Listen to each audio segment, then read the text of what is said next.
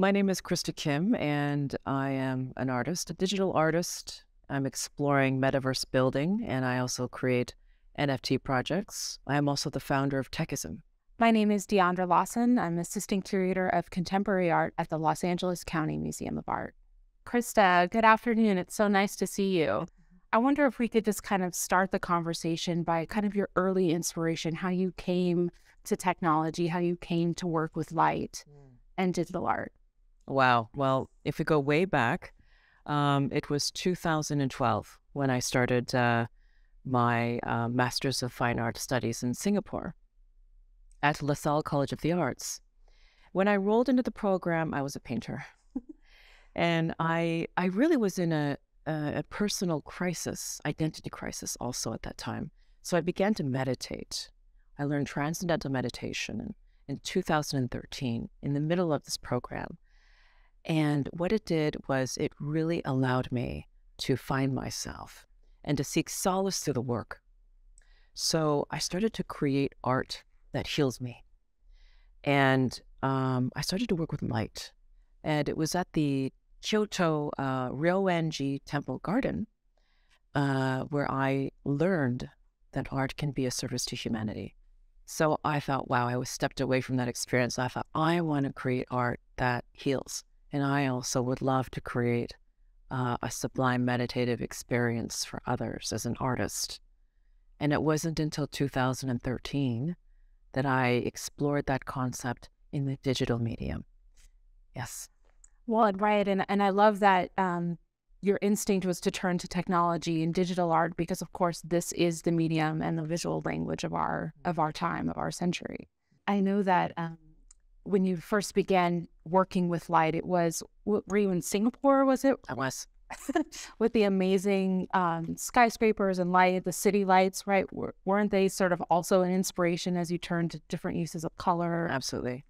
Living in a place like Singapore uh, and in Asia, period, yeah. it's very innovative there, and there's always change and innovation.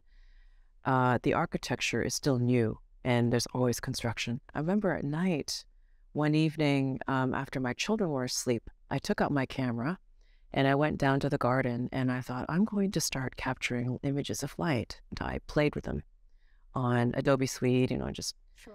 really playing and experimenting. Yeah, totally. And then my Genesis piece, the piece that um, really started my journey, which uh, was a revelation to me, uh, a black and a black and blue uh, piece, very similar, mm. black darkness and blue light, uh, just you know, just right in the middle, just vertical, a horizontal blue. And I thought this is only achievable in digital, uh, you know, with the gambit of color that's available to us now.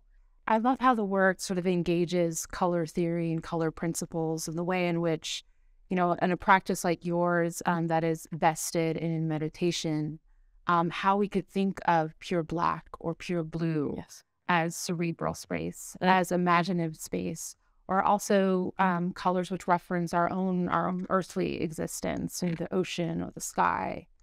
Um, I wonder if you could speak a little bit about sort of the significance of the gradient. It's really your signature, um, and you speak so eloquently about the meaning of the gradient as a metaphor for for our existence today. And I I'm a student of Marshall McLuhan. Okay, and uh, I've learned a lot from his his writings. And uh, I, I basically feel that my work is an extension of his theories. Mm. The medium is the message. We are now living beyond the electronic age. We are now living in, uh, you know, the age of not only information, but, you know, digital and metaverse and Web3, blockchain.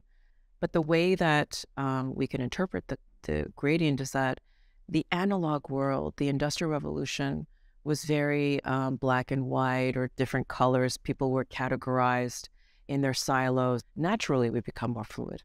And so, fluidity um, and the gradient represents the new digital human that will transcend all the divisions of the past of race, religion, geography, politics, and gender. I feel that more and more as we advance in the technological age of blockchain and decentralization, as we enter the metaverse, and we become avatars. And it doesn't matter where you come from, or right. it doesn't matter what you look like. Um, you you're basically very pure in your interactions, and uh, transcendent. So the gradient represents this new age and, you know, the this new human interaction and the new dynamic of being a human being. I love that metaphor that you create with the gradient and, and, and I, fluid identities or plural identities into the future. But it seems to me, and, and perhaps you could clarify, that there's no judgment in, in your practice about which world or lived experience or virtual experiences are better. Yeah, you're right. I actually believe that um, you know technology should be a tool for humanity to elevate our our experiences on Earth. So we should never be afraid of the technology. We harness it as a tool. Right. And people still paint. People still always will make photographs, and we always will. People still read books. Yeah. So new technology doesn't mean sort of a replacement of older technologies. It just means sort of these coexisting, interdisciplinary, plural kind of visual languages. And that is exactly what I wrote in my manifesto in Techism. You're right, exactly. We are not usurping the old. We are complementing and we are enhancing and we're moving forward in innovation, innovating.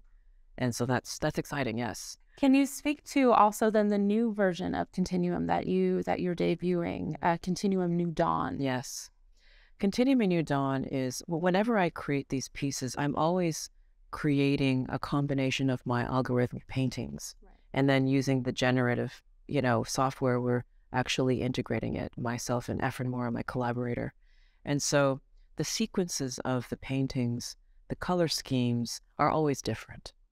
And with this piece, I wanted to have a more because a new dawn. I feel like we're. It's a very, um, you know, it's a very uh, unstable period yeah. in the world with war and with economic uncertainty um, post COVID. And I wanted to create a piece that expresses not only the, the the tumultuous energies that we're going through, but optimism that we can overcome it it's really beautiful and i love sort of again pointing toward toward futures and sort of getting ahead of technology. Um, i wonder if you could speak to the importance of diverse leadership or leadership by women sort of as we move into increasingly into um, virtual and digital worlds. Absolutely. The thing about web3 um, in particular you know communities and economies that are built on the blockchain um, it, it truly is a space that allows for diverse voices to be heard. And I believe that uh, Web3 is all about community first. And there are so many companies that are jumping into Web3, understanding that NFTs are the use case of NFTs as community building um, uh, technology and utility in that not only are you building, you know, this community, but people actually have a say, and they have a, a sense of equity in in the community itself, a, a, stake in it, right, a contribution to make. Um, this means that women also can create these powerful communities and really leverage them to have their voices heard, the stories heard. I think the narratives of diverse people around the world are more heard in Web3 than ever before in any artistic community that I've ever experienced. So you are a recent uh, transplant to Los Angeles. Yes. I know that you're um, you had been living and working in Toronto. Um, tell us about LA. You and I have been um, in conversation and dialogue for maybe over a year now. Yes. And we were so delighted that here at LACMA to bring, I believe, the first works first of your works in a museum collection to come into LACMA's collection. Yes. it was incredible. We debuted them last summer in June um, 2022, uh, right here in front of uh, Michael Heizer's Levitated Mass. It was such an honor to be um, to be placed beside his work. Um, the reason why it's such an honor for me to to be in the LACMA collection is because the California Light and Space movement has greatly influenced me. my rock star is James Turrell. Uh, if I ever get the chance to meet him, it'd be a true honor. And um, I, you know, his his whole philosophy of light as a medium, you know, it's so visionary. Um, you know, the fact that you know Robert Irwin and and Mary Corse and all these incredible California light and space artists are here, and and of course Rothko. I mean, all of my, uh, I would say my mentor artists are in the LACMA collection. And so um, to be in the same collection and to be part of the new guard, uh, the zeitgeist, uh, and the leading edge is is a true honor. LACMA has been dedicated to digital art since the founding um, of the museum. We launched the Visionary Art and Technology Program in 1965. Exactly. Um, the first work of new media that we brought um, into the collection was um, Video Flag Z by Nam June Paik. Um, and so, for an institution like ours, which has sort of these historic collections, um, part of our concept and vision is always to bring past and present butting up against each other. It's exciting for us to be able to work with artists like yourself and, and sort of make these collect, uh, connections um, for viewers to sort of understand links and history um, across time.